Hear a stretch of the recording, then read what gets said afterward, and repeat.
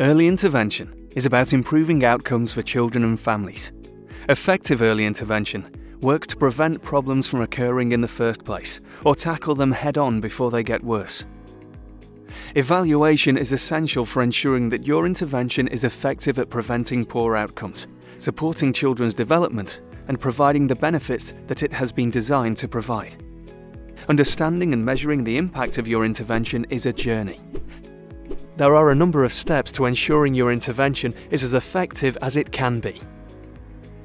Our 10 steps for evaluation success map out this journey, from the development of a theory of change, to logic models, feasibility studies, pilot evaluations, impact assessments, and quality assurance for interventions offered on a wide scale.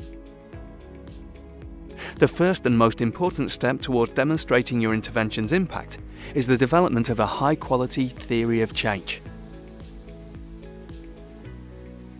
A theory of change encapsulates some crucial details about why your intervention is necessary and what it aims to achieve.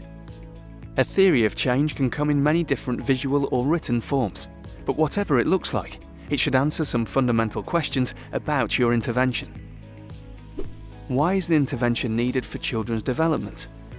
Who is the intervention for, and what are the crucial characteristics of the people who will be taking part? How does the intervention work? What is its content, and what will the participants do? What is the primary outcome for the children taking part, and why is this outcome important to their development? Together, these features of an intervention start to paint a picture of how an intervention works it's also the essential first step in being ready to evaluate the intervention in the future. Articulating a theory of change is vital for several reasons. It enables you to communicate the rationale for an intervention both within your organisation and more widely. To recognise and start to address any uncertainties or risks in your plans for the intervention. To ensure everyone involved is on the same page, which can help improve how your intervention is delivered and to lay the foundation for future evaluation, which will test whether your intervention has achieved what was intended. Learning the lessons from this evaluation will help you to refine and adapt your theory of change and improve the effectiveness of your intervention in the long run. It may seem obvious why a particular intervention is needed, or how it will work to improve children's lives, but often there are a set of assumptions involved, which may not have been tested and may not even be true. Let's imagine an intervention that aims to reduce aggressive behaviour in children under the age of 10. This intervention works by spotting children showing signs of aggression and giving them extra playtime. The idea is that this will give them more time to learn better social skills, which will improve their behaviour now and reduce the risk of serious behavioural problems later.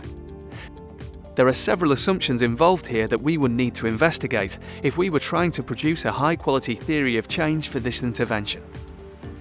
Does playtime improve social skills? Is a lack of social skills associated with increased aggression? Does improving social skills improve behaviour for children who are being aggressive? And does this work in the long run? It is essential to answer these questions to challenge your assumptions if you're going to produce a good theory of change and set yourself up to evaluate the intervention in the future.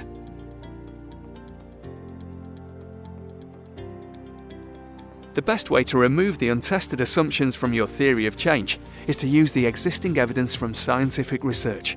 You can use what is known from research into child development to pin down who the intervention is for, to clarify what the content will be, and to identify its primary outcomes for the people taking part.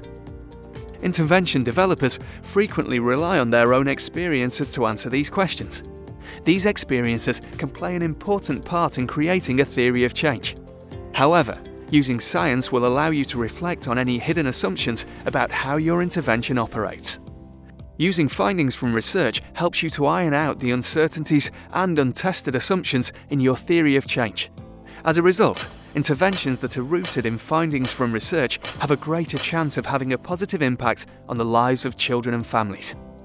Let's think again about trying to reduce aggressive behaviour in young children and look at a science based theory of change based on what the academic literature says about child development. All children are aggressive during the preschool years. In fact, human beings are at their most aggressive between the ages of 2 and 3. Coercion theory is based on the observation that many parents inadvertently reinforce aggressive behaviour when they argue with their child or give in to their child's demands. In other words, aggressive child behaviour coerces ineffectual parent responses, which in turn coerce more aggressive child behaviours. This suggests that one way to tackle aggressive child behaviour is to break this cycle. This intervention would work with parents and caregivers of preschool age children. Parents and caregivers would be taught strategies for responding more effectively to their children's aggressive behaviour. In the short term, parents should learn and be able to use these new strategies. In the medium term, their children's behaviour should improve.